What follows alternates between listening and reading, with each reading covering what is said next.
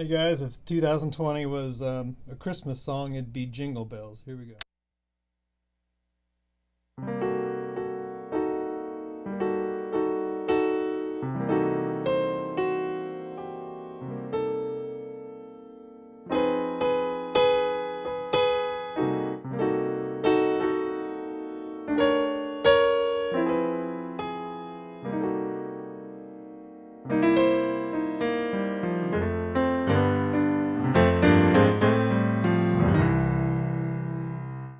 Just kidding. It turned out okay.